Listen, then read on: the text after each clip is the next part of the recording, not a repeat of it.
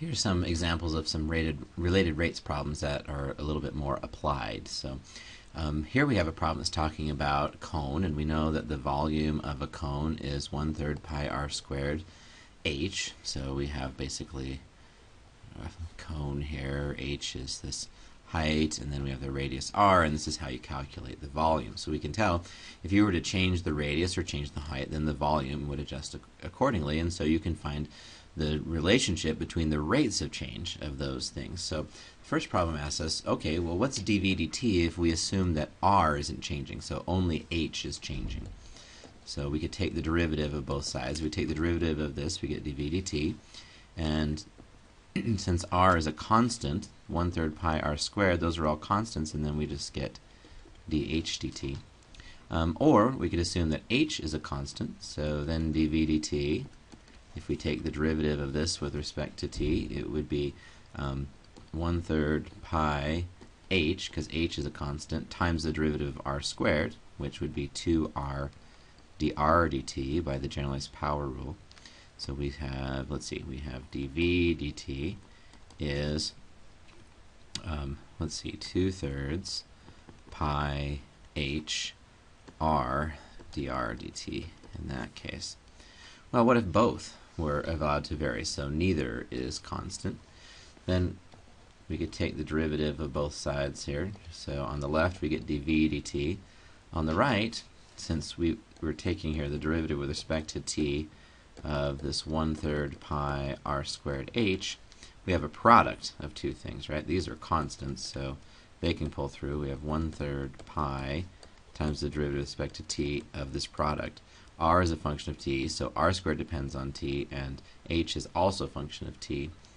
So to take the derivative product, you take the derivative of the first, which would be 2r dr dt, times the second, plus the first, which is r squared, times the derivative of the second, which would be dh dt. Notice that if I um, distribute here and collect like terms, I have uh, 2 thirds pi r dr d, uh, see, pi r h dr dt, and the second term is going to be 1 third pi r squared dh dt, 1 third pi r squared dh dt. Okay, notice that if either one of these is 0, let's say that r, dr, r was constant, so dr dt was 0, then that would wipe it out and just give us what we originally got when assuming that r was constant. Or if dh dt was 0 because h was constant, then we would end up with 2 thirds pi r h dr dt, which is what we got before when we assumed that h was constant. So we could have maybe started here, figured out the full derivative, and then assuming that h was constant, we could replace dh dt with 0 and um, or replace dr dt with 0 if r was constant.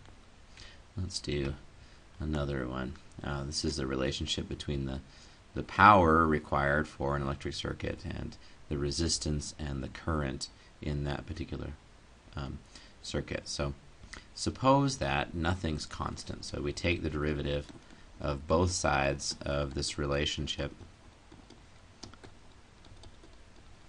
um, with respect to t.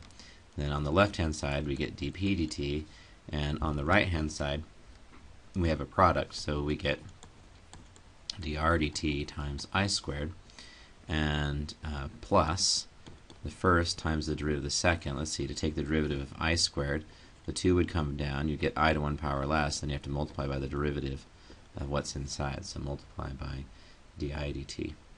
Okay, so if the current wasn't changing, we could set that equal to 0, and we'd have a relationship between the rate at which the resistance is changing and the rate at which the power is changing. Or if um, the resistance was not changing, this would be zero, and we could get a relationship between the rate of change of power to the rate of change of current. Um, or we could have both I and R changing, and then we could have a relationship between those and how um, the power is changing. Here they ask us uh, to figure out how is the rate of change of the resistance related to the rate of change of the current if the power stays constant. So you're always putting the same amount of power in. How how will um, the resistance and the current be how would the rates of change be related so what we can assume then is that since p is constant dp dt is 0 and so from our equation above we have 0 equals dr dt i squared plus 2ri di dt. They ask us uh, how is dr dt related to di dt, so let's solve for dr dt. I'm going to bring this over, dr dt times i squared is going to be equal to, I'm going to take that one over to the other side, so it's on the other side from this, and that's going to be negative 2ri di dt. Now I can divide both sides by i squared. So when I do that, I get dr dt alone, rate of change of the resistance with time. See here, um, this i wipes out one of those i's, so we have equals minus 2 r by i di dt. Okay, so to keep the power constant then, if you start increasing the current, then you're going to have to decrease um, the resistance. Or if you decrease uh, the current, then this would be negative, right? And so a negative times negative would be positive. You'll have to increase the resistance to keep the power consumption constant. So um, in both of these examples, they've actually given us the relationship. It gets a little bit trickier if you have to find the relationship for yourself. So um, the book gives some hints for how to do that. Uh, so they have this strategy, you can look it up. And I highlighted some things that I think are probably the most important. You need to draw a picture, and then you, you're looking for an equation that is always going to be true that relates the variables. Sometimes you'll have some information in the problem that relates to what's happening right at a particular instant. Well, that's only true at a particular instant. We'll see some examples, but look for an equation that always has to be true. Really, once you've got the equation, you're home free. You can differentiate with respect to t and then plug in inf any information in the problem that you need in order to answer the question. So let's look at a, at a couple examples. We'll start off simple and we'll get them more complicated as we go along. First we have a cube. Okay, it says a cube's surface area increases at a rate of a particular at a particular rate. Okay, 72 inches squared per second. At what rate is the cube's volume changing when the edge length is 3 inches? Ah, so we have we have something about a cube's surface area and something about its volume. And we want to figure out the relationship between the surface area and the volume. So I'm going to follow the book's advice and draw a little picture and look at a cube. Now, a cube, that means a rectangular box, right, where the edges all have the same length. So the volume of the cube is going to be length times width times height is going to be x cubed. Okay, the surface area. This uh, cube has six surfaces. There are four around the sides and a top and a bottom, so there are six surfaces. Each surface is the same has the same dimensions. They're all x squared, so the surface area will be 6x squared. Okay, so we want to know, we know the rate at which um, the surface area is changing, and we want to know the rate at which the volume is changing.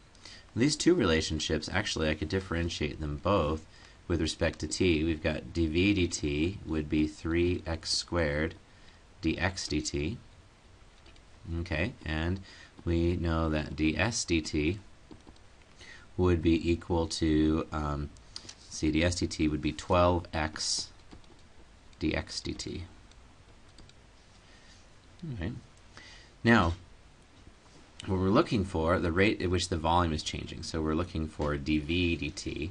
We know x, but we don't know dx dt. However, we do know this relationship, and we know ds dt is 72. We know that x is 3, and that would all get multiplied by dx dt. So actually, knowing ds dt, then from this relationship we can see that dx dt is going to be 72 divided by 12 times 3. Course, 12 times 3 is 36, and 36 goes into 72 twice, so we actually know dx dt is 2. That's enough now to let us figure out the rate of change of the volume. So we have 3, x, we're told, is 3 inches, and um, then dx dt we know is 2. So we have 3 times 3 times 3, that's 27, times 2 is 54. Now to figure out the units here, we ought to look at um, the units that we have assembled here to calculate dv dt. First off, we know that these measures in x's, those are in inches. So if you take something in inches times something in inches, you have units of inches squared. And um, we also could figure out dx dt.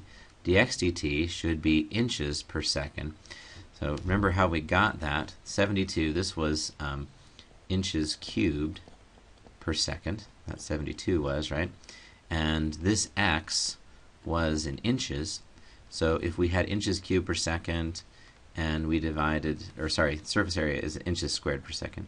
If we had inches squared per second and we divided by inches, then we would have something in inches per second. So yeah, the number we got for dx dt was in inches per second. So so we had uh, we had this number 3, and this was a measurement in inches times itself, so that was in inches squared, and then we multiply that by inches per second, and we find that the units are inches cubed per second. That's pretty comforting because we expect that if you have a volume, you're looking at how volume changes per time, volume should be measured in terms of length cubed, and we have our time measured in seconds, so that looks like a good answer there.